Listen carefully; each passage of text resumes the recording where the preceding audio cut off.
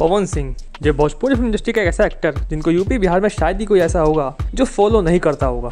और इसी बीच लालू प्रसाद यादव के लड़के, तेज प्रताप यादव भी पवन सिंह के हैं फ़ैन और अभी हाल ही में इंस्टाग्राम रील्स पे तेज प्रताप यादव ने पवन सिंह की कॉपी की है। जिस वीडियो में साफ़ देखा जा सकता है कि तेज प्रताप यादव पवन सिंह के चलने की एक्टिंग कर रहे हैं। हालाँकि इससे पहले भी तेज प्रताप यादव ने सोशल मीडिया पर पवन सिंह को टैग किया है उनके गानों पे। तो ये कई न्यूज़ चैनल पे भी उन्होंने ये बताया है कि वो जब भी भोजपुरी गाने सुनते हैं तो उनके मन में एक ही सिंगर का नाम आता है, और वो है पवन सिंह। हालाँकि ऐसा हो भी क्यों ना?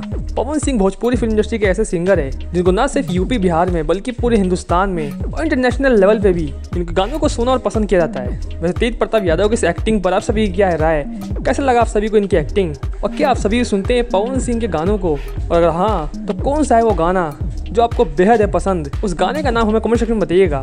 और इस वीडियो में फ़िलहाल इतना ही। इस तरह खास वीडियोस को पाने के लिए हमारे चैनल से बने रहिए।